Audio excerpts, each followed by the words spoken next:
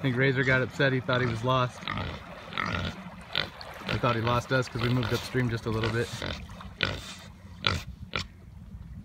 Come on, buddy. Good boy. Good boy.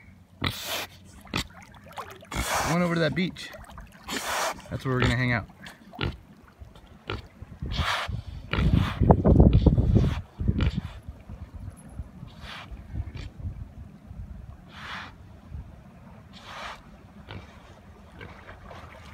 Good boy.